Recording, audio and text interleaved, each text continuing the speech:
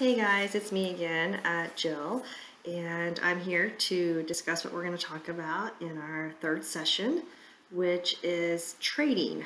Um, so, uh, who here has recently made a trade with a friend, a family member, or something they had that you wanted and you had something to trade for?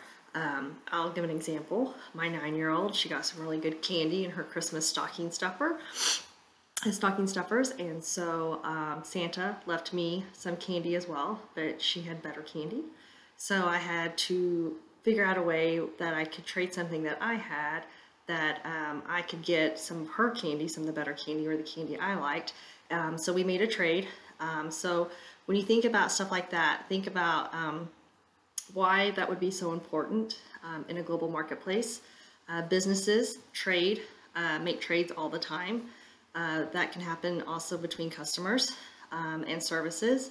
Um, and then international trade. So that's, you know, different countries, different businesses uh, making trades to uh, maybe be able to provide a different type of product uh, out there or um, maybe why, if you think about why would it be so important to be able to trade with another country, maybe because the resources they have aren't, aren't, aren't available.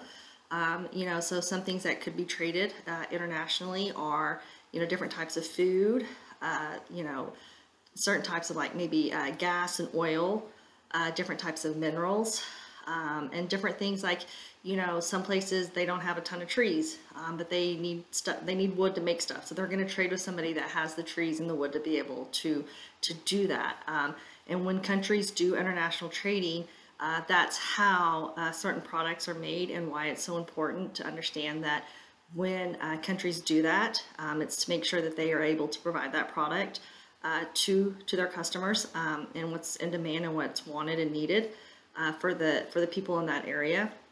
And they may not have all of the resources to be able to provide that product, so they they trade with others uh, to be able to make sure that they get a product that their customers want and need. Um, so think about maybe what could have possibly been traded uh, to help get the product that you the next product you guys buy um, when that came off, when you buy it at the store. Uh, maybe think about, I wonder what countries or what companies or businesses, what did they have to trade uh, to be able to get this, to get this product available to at the store so that I can get it and that I want it. So think about that the next time you guys are at the store and I will see you at our next session. Thanks.